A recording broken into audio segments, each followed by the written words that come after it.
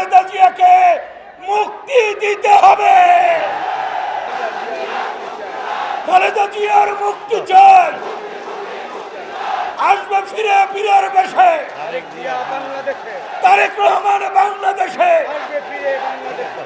আসবে ফিরে ফিরের বেশে। এই উন্মূলন করতে গিয়ে আমাদের নেতা জাতীয় স্থায়ী কমিটির সদস্য আপনাদের প্রিয় নেতা আমির খসরু মাহমুদ ফকি আজকে কারাগারে সাংগঠনিক সম্পাদক মাহুর রহমান শামীম কারাগারে আমাদের মহানগর বিএনপির সাধারণ সম্পাদক আবুল হাসেন বকর কারাগারে আমাদের সমন্বয়কারী সেই জাতীয় ঐক্যফ্রন্টের সমন্বয়কারী মনিলক সতী সাহেব আজকে কারাগারে আমি অনতি বিলম্বে তাদের মুক্তি দাবি করে শুধু এইটুকু বলব, এই চট্টগ্রামে আমাদের নেতা শহীদ প্রেসিডেন্ট স্বাধীনতার ঘোষণা দিয়েছেন, আমরা সেই যুদ্ধে অংশগ্রহণ করেছি।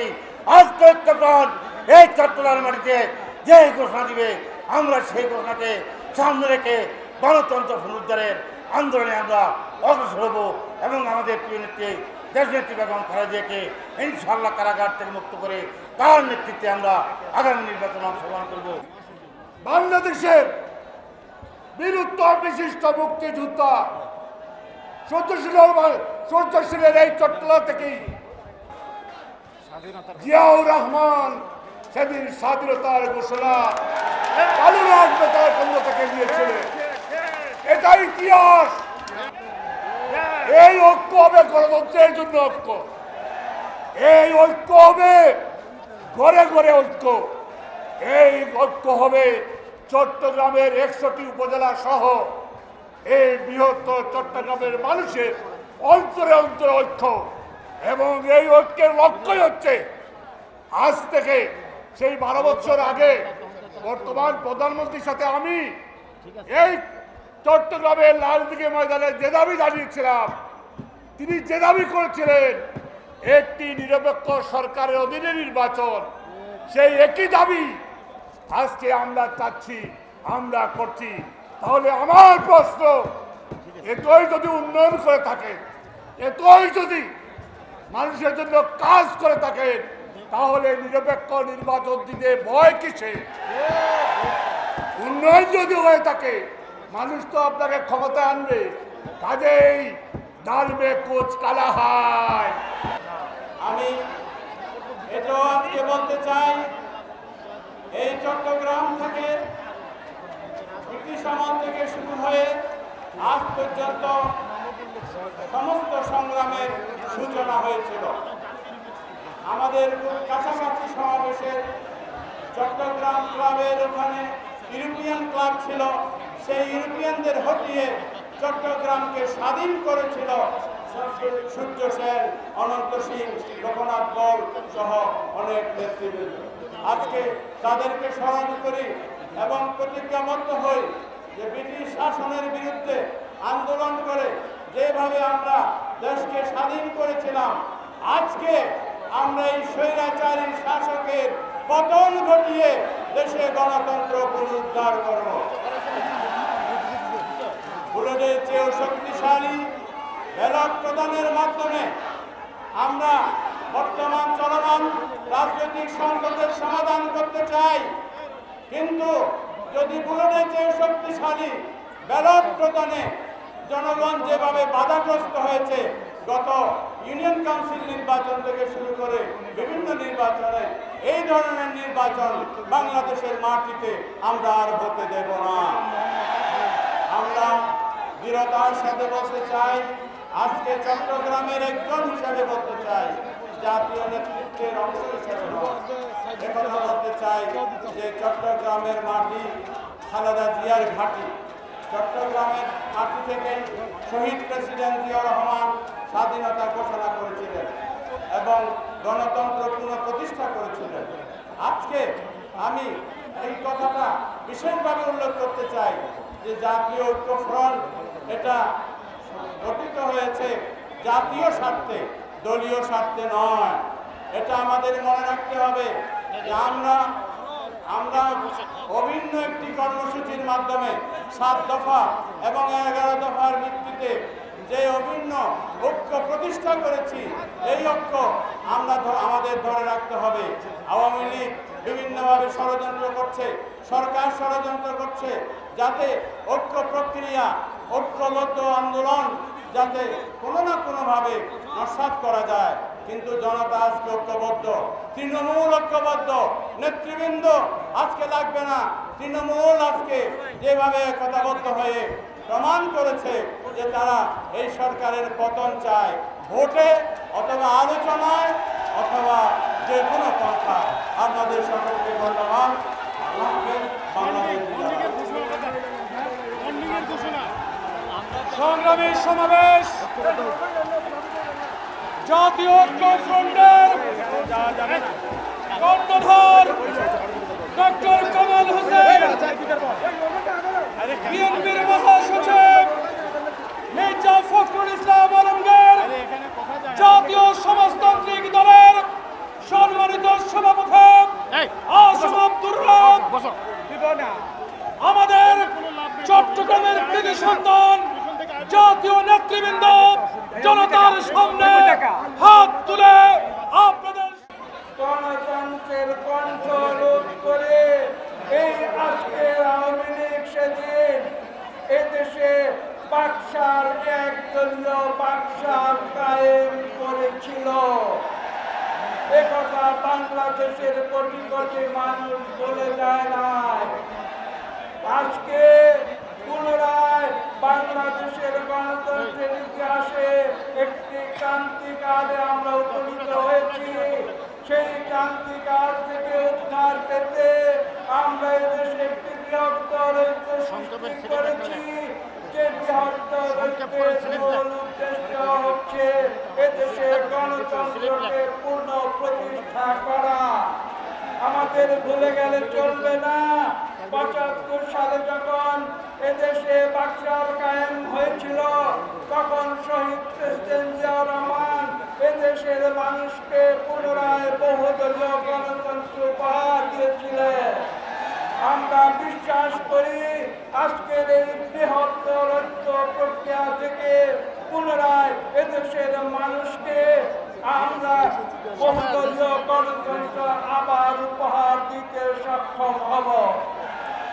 দেশ নেত্রী বেগম খালেদা জিয়াকে মিথ্যা রাজনৈতিক মামলা দিয়ে কারারুদ্ধ করে রাখা হয়েছে।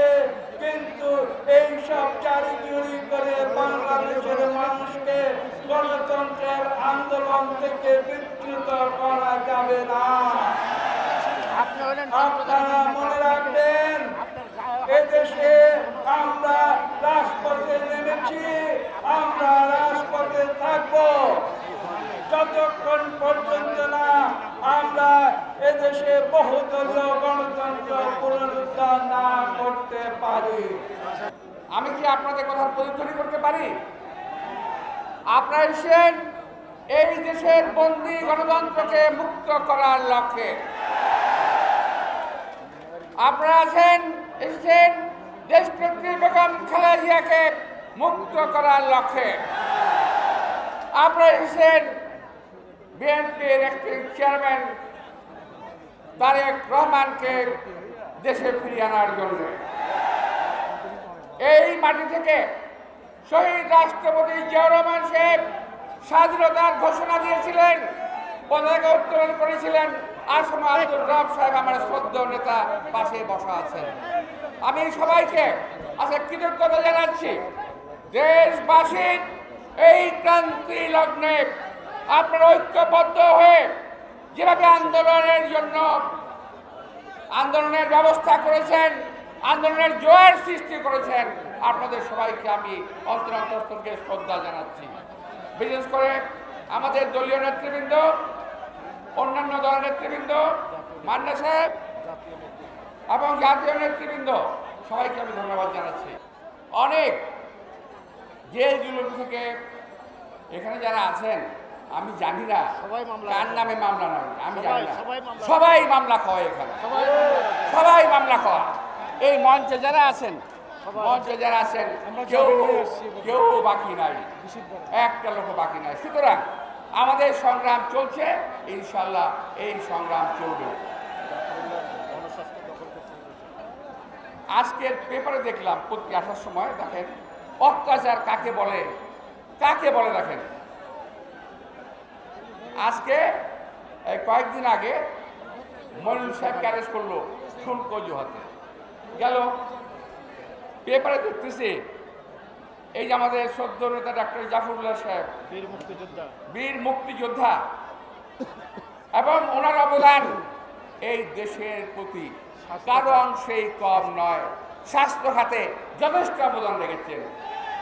ওনাকে উনি যিনি সপ্তাহে দুইবার, তিনবার ডায়ালিসিস নেন। আমি জানি না আল্লাহ তালা ওনাকে কেমন কেন শক্তি দিয়েছে। উনি কীভাবে এখানে আসেন, আমি বুঝতে পারি না। তারপরও এই লোকটার দেখেন, ওনার বিরুদ্ধে মামলা দিল। জামিন হলো। তারপরে আজকে পেপারে দেখি যে ওনার গণস্বাস্থ্য ফার্মাসিউটিক্যালের যে জমিটা আছে, সেই জমিটা ভেঙে, চুরে তসতস করে দখল করে ফেলেছে। পত্রিকা দেখছে ভাই, আমার কথা না। কষ্ট লাগল।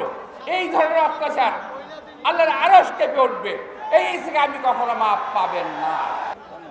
তিনবারের প্রধানমন্ত্রী অসুস্থ, যিনি হাঁটু সোজা করে দাঁড়াতে পারেন না, যিনি ঠিক মতো বিছানায় শুয়ে তার থেকে উঠতে পারেন না, দোতলার সিঁড়ি বেয়ে নিচে নামতে পারেন না, সেই নেত্রীকে এই সরকার অন্যায়ভাবে জবরদস্তিমূলকভাবে মিথ্যা একটা মামলায় দোতলায় এক অন্ধ প্রকোষ্ঠের মধ্যে বন্দি করে রেখেছে।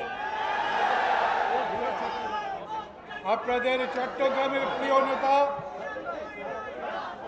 আমির খসরু মাহমুদ চৌধুরী সহ অজস্র নেতাকে সারা দেশে গ্রেপ্তার করে রেখেছে। এই যে আজকে এই সমাবেশ এই সমাবেশ যাতে না হতে পারে তার জন্য আজ দুপুর পর্যন্ত এইখানকার পুলিশ কি করেছে সেটা আমার চাইতে ভালো আপনারা জানেন। যারা সবাই আছেন মাঝাবেল চিৎকার করছেন, স্লোগান দিচ্ছেন, হাত তুলে সমর্থন করছেন, তাদের সবাইকে আমি আমার পক্ষ থেকে এই মঞ্চে যতগুলো দল, ব্যক্তি, নেতারা আছেন, তাদের সবার পক্ষ থেকে আন্তরিক ধন্যবাদ ও অভিনন্দন জানাই সমস্ত বাধা উপেক্ষা করে আপনারা এই সমাবেশ সফল করেছেন। উনি প্রাণবন্ত সংসদ চান। তারপর উনার কাজ আর কথায় মিল নাই। উনি উনার ছায়াকে দেখে ভয় পাচ্ছেন। আওয়ামী লীগ আওয়ামী লীগের ছায়া দেখে ভয় পাচ্ছেন।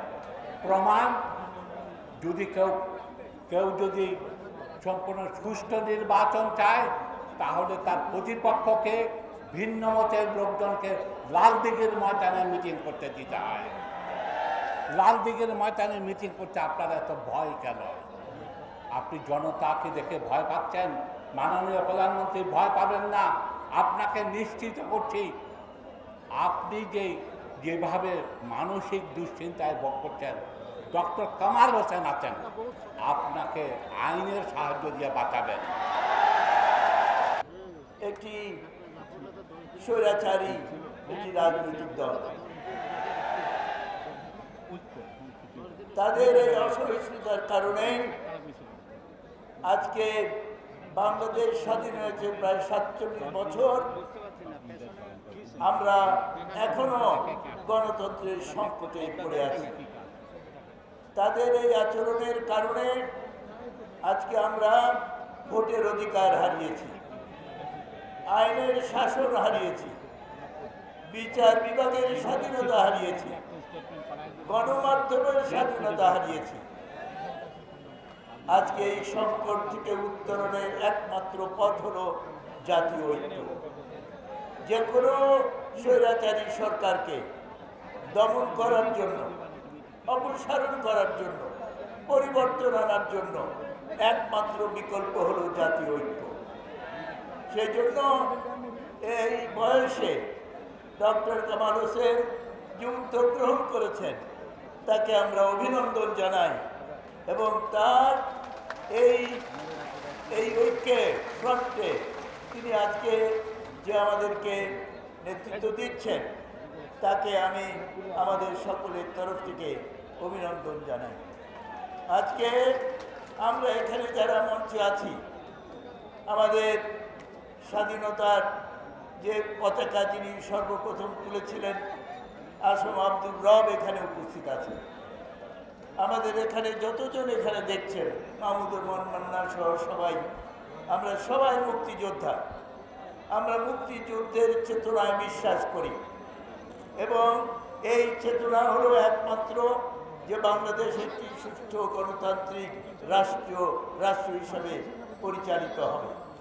আজকে সেই জন্য এই ঐক্য, এই ঐক্যই এই বর্তমান শরীরে তিনি সরকারের পতন আনবে।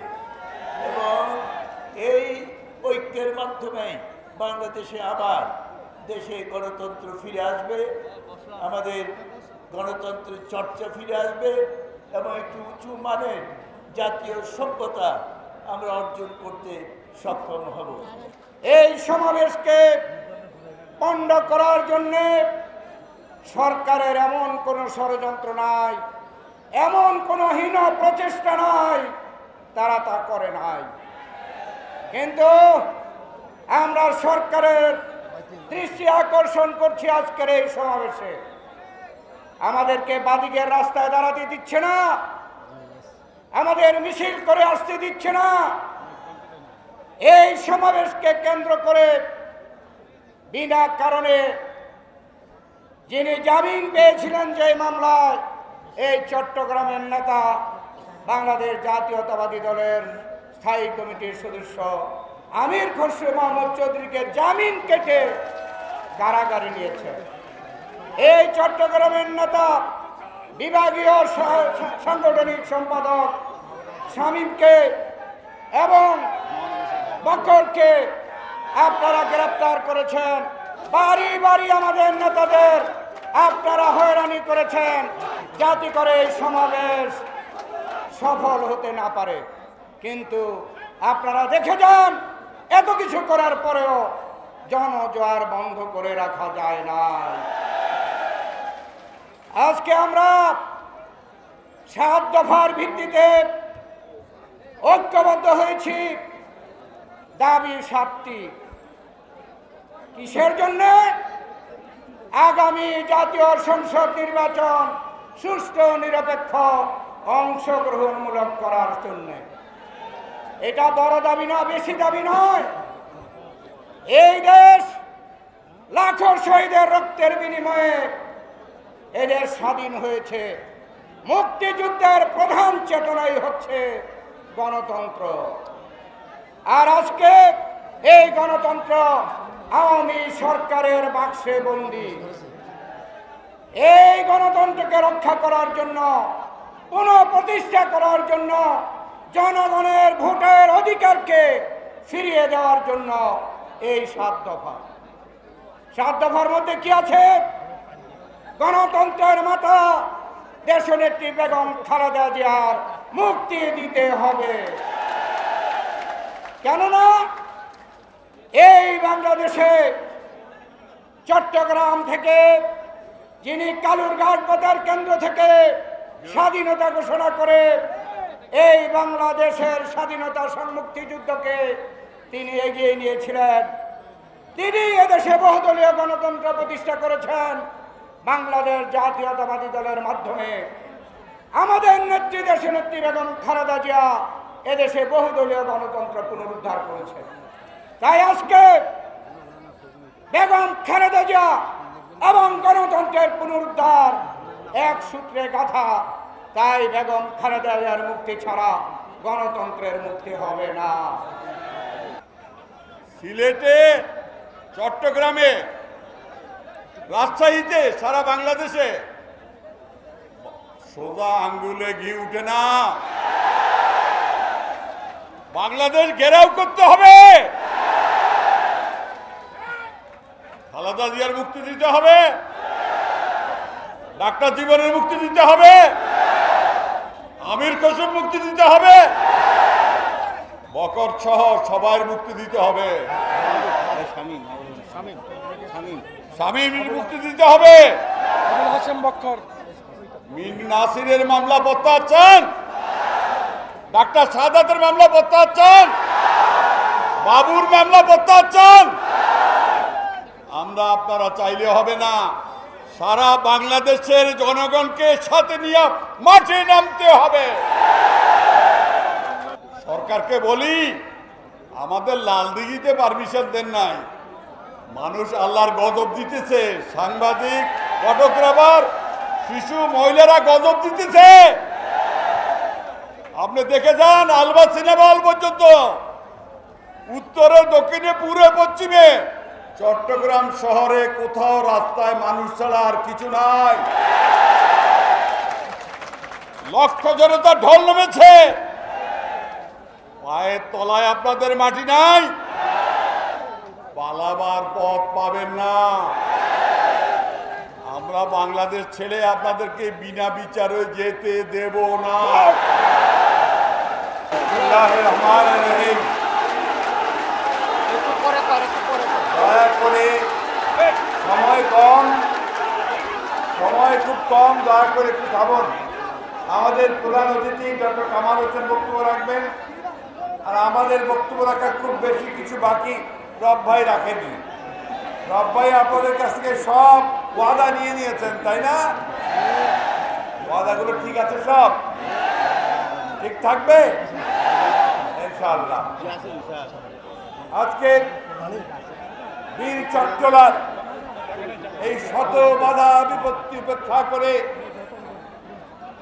এই জনসভার সম্মানিত সংগ্রামী সভাপতি, যিনি মাত্র গতকাল এসে উপস্থিত হয়েছেন, তার বিরুদ্ধে মিথ্যা মামলার জামিন নিয়ে এবং আজকে আপনাদের সামনে সকলের সঙ্গে উপস্থিত হয়েছে সংগ্রামী সভাপতি এই সভার সম্মানিত প্রধান অতিথি, যিনি এই স্বাধীন বাংলাদেশের সংবিধানের প্রণেতাদের অন্যতম, যিনি জাতির সামনে শুধু একজন রাজনৈতিক নেতা নন, জাতির সঙ্গে একজন অভিভাবক, একজন বিবেক হিসাবে সামনে এসে দাঁড়িয়েছেন জাতির আমাদের সেই শ্রদ্ধেয় ডক্টর কামাল হোসেন আমাদের এখানে উপস্থিত আছেন আমাদের জাতীয় শীর্ষ নেতৃবৃন্দ, আমাদের প্রিয় ভাইয়েরা, বীর চট্টলার রাজনৈতিক সংগঠনগুলোর সম্মানিত সংগ্রামী কর্মীবৃন্দ আজকে এই জনসভায় উপস্থিত আমার প্রিয় সংগ্রামী ভাই ও বোনেরা। আসসালাম আলাইকুম। বন্ধুগণ, এই বীর চট্টলা কেন বীর? বীর এই জন্যে যে চট্টগ্রামের মানুষ অন্যায়ের বিরুদ্ধে, পরাধীনতার বিরুদ্ধে শৃঙ্খল ভেঙে ফেলার জন্য বরাবর লড়াই করে এসেছে। এই বীর চট্টলার মাটি সূর্য সেনের মাটি। এই চট্টলার মাটি প্রীতিলতা বদ্দারের মাটি। এই মাটি আমাদের স্বাধীনতার ঘোষক শহীদ প্রেসিডেন্ট জিয়া রহমানের। বন্ধুগণ বারবার বীর চট্টলার মানুষ প্রমাণ করেছে যে তারা ন্যায়ের পক্ষে গণতন্ত্রের পক্ষে মানুষের অধিকারের পক্ষে যে কোনো ত্যাগ স্বীকার করতে প্রস্তুত। আজকে আবার প্রমাণিত হলো শত বাধা বিপত্তি বিচার করেও তারা আজকে জমায়েত হয়েছে। অভিবাদন আপনাদেরকে সেলুট করিবে আপনাদেরকে আমি যে বন্ধুগণ বক্তব্য খুব সামান্য। আওয়ামী লীগ এই সরকার ভয় পেয়েছে। এমন ভয় পেয়েছে যে আপনাদেরকে একটা সভাও করতে দেয় না। আবার রাস্তা যে দিয়েছে সে রাস্তাটা অর্ধেকটা দিয়েছে অর্ধেকটা দেয়নি। কেন? আমাদের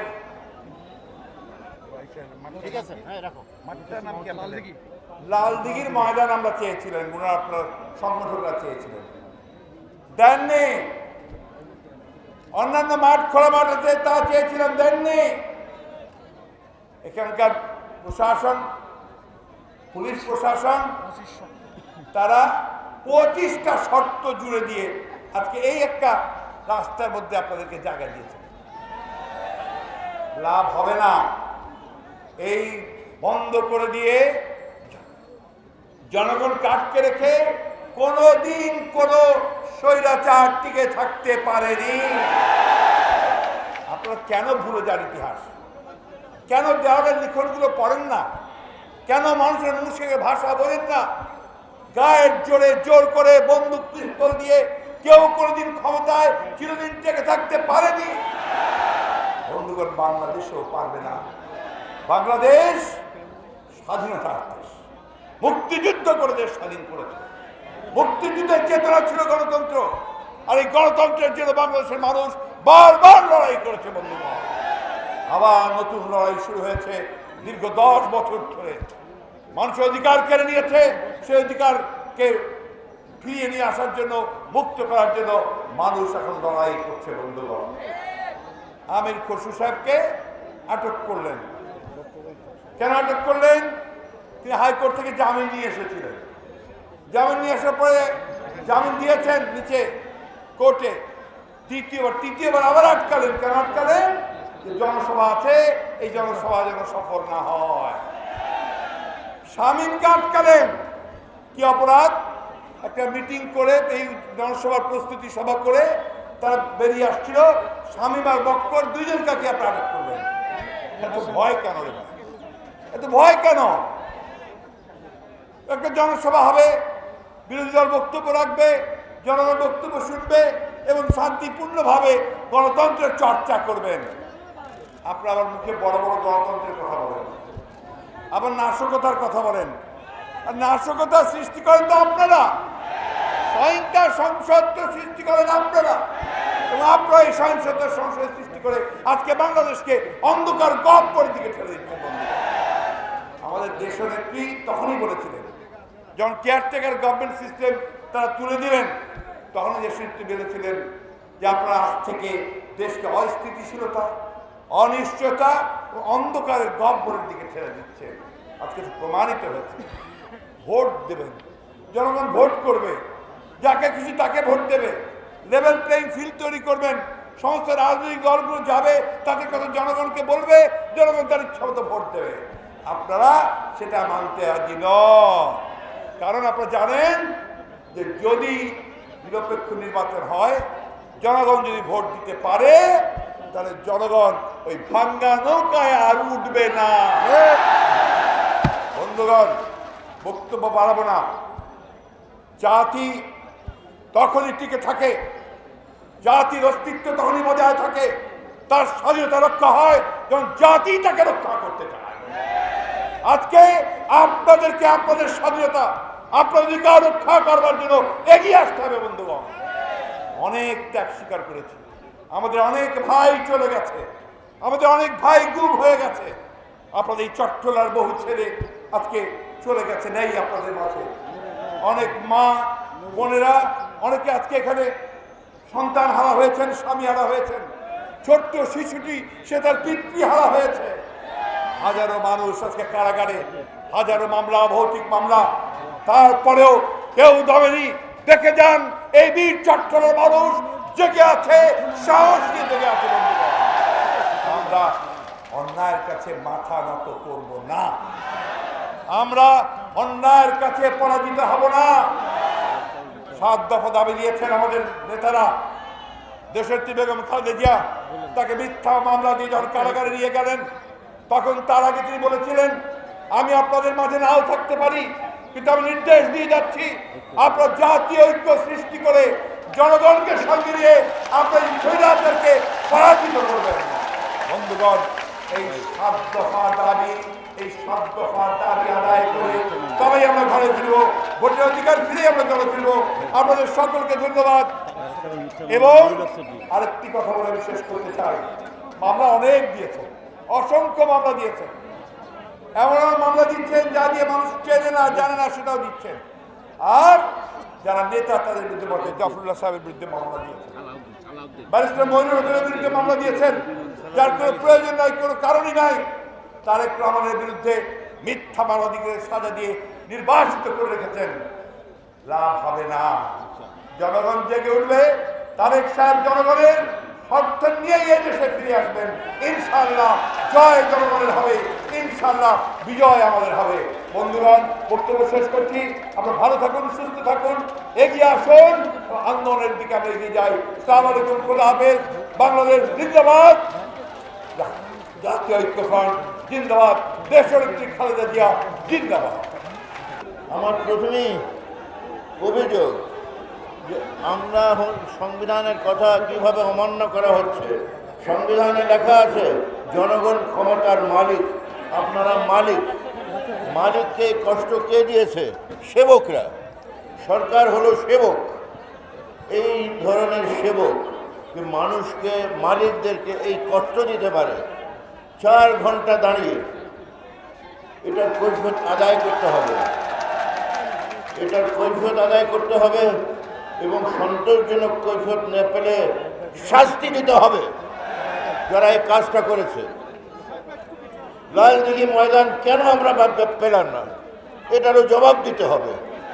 এটা কার পৈতৃক সম্পত্তি না? এটা জনগণের মালিক। কারা এগুলো করছে? বের করতে হবে। আমি খুঁজে বের করব যে কীভাবে সিদ্ধান্তগুলো নেওয়া হয়। এই যে এই মিটিং লালদিঘি ময়দানে হবে না। এই জায়গায় কষ্ট করতে হবে মানুষকে। এটা অক- অকল্পনীয়, অসাংবিধানিক।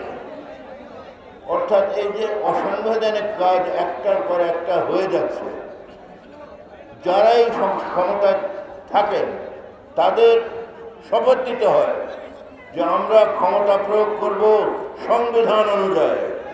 সেই শপথ সকাল বিকেল সন্ধ্যায় ভঙ্গ করা হচ্ছে এই কৈফতটা কি দিতে হবে কি হবে না? বলেন দিতে হবে।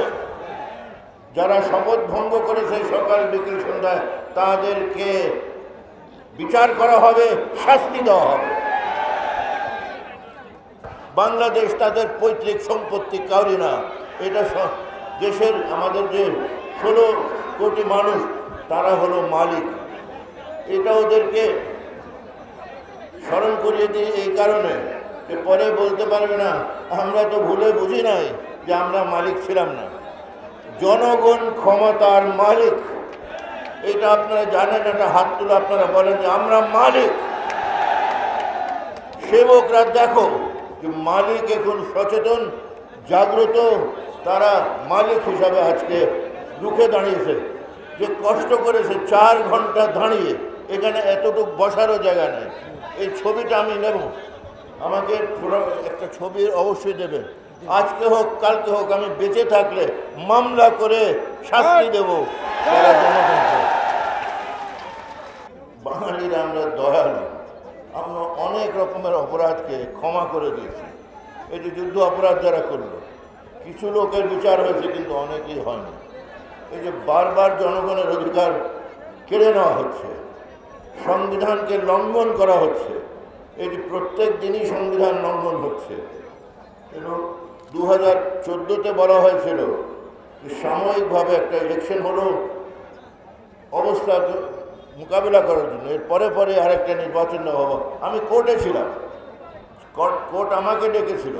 বললাম, এরা যখন বলছে যে এরা করে দেব, এটাকে নিয়ে আমি আর মানে তোলপাড় করতে চাই না। সেই বছরে দু হাজার চোদ্দোতে সেটা করার কথা ছিল। সেটা হয়নি। পনেরো, ষোলো, সতেরো, আঠারো যে করছ এখনও, দেখছি যে পাঁচ বছর কাটিয়ে দেওয়া হলো। এই কাজগুলো সংবিধানের গুরুতর অপরাধ। এই অপরাধের জন্য জবাবদিহি আদায় করতে হবে। আপনারা সেই জবাবদিহি আদায় করবেন তো? ইনশাল্লাহ জেনে রাখেন। অতীতে যেহেতু আমরা এই ক্ষমা সুন্দর চোখে দেখে বলেছি, যা হয়েছে হয়েছে, এখন ভবিষ্যৎমুখী আমরা হয়ে যাই। এইটা প্রত্যেকবারই হয়।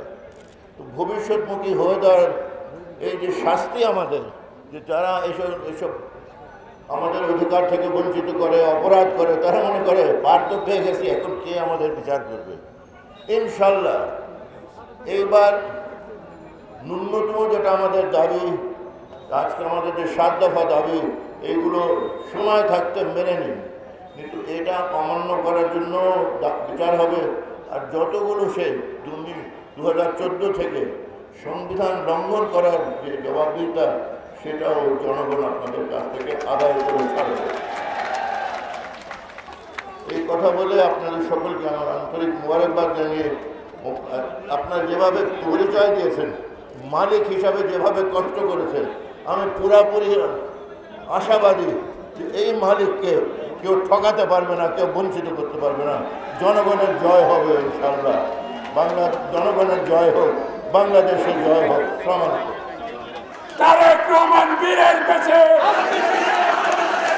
আসবে বাংলাদেশে। ধন্যবাদ সবাইকে।